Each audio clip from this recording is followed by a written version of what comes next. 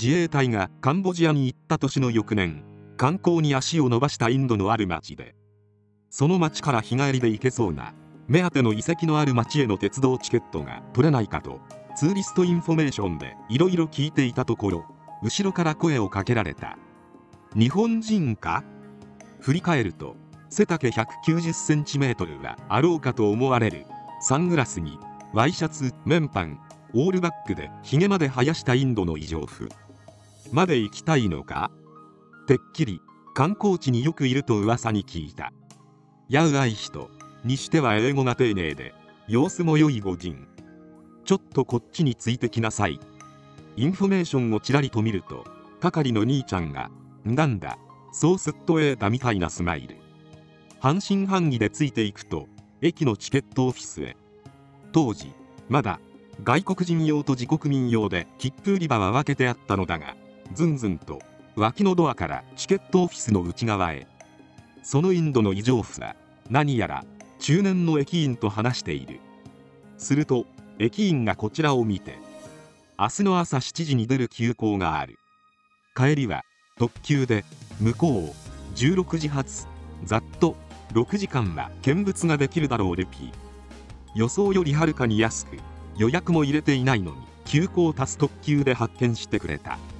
社員を呈すると異常不死にこやかに。まあ明日無事に帰ったらにしておくれ。翌日目的の遺跡を堪能して戻るとインフォメーションの兄ちゃんの横にいた偉丈夫が微笑んで待っていた。改めて謝意を呈するとはにかんでいや実は去年カンボジアに行っていてね。この偉丈夫氏は地元の警察官。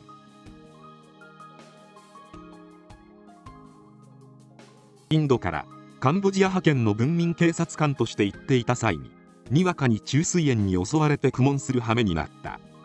最寄りに駐屯しているのは日本の自衛隊。電話で紹介するとわざわざ車両で迎えに来てくれた。自衛隊の軍医による手術は成功。その後しばらく自衛隊のところでお世話になっていたらしい。ジャパンのアーミーは素晴らしい連中ばかりだった。伏せっている。ゆかりもない外国人の自分に必ず誰かが付き添ったり話をしに来てくれた。嬉しくて特に親しくなった隊員に自分の残念ながらこの品物が何だったのかは忘れましたを送ったところ彼はいつもかけていたサングラスをくれた。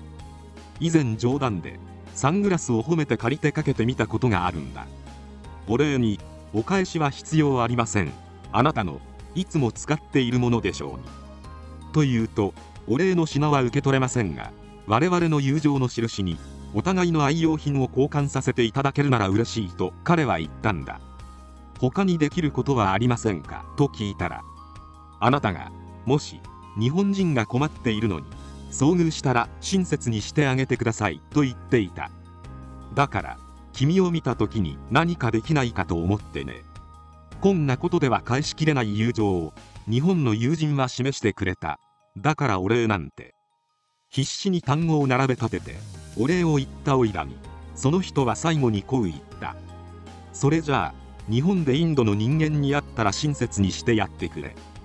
そしてそいつには次に会った日本人にそうしてやってくれ。と伝えてほしい。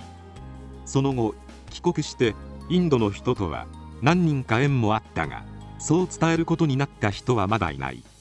けれどもこの約束を果たすのにはやぶさかではないつもりでいる。長々昔話で愛すみません。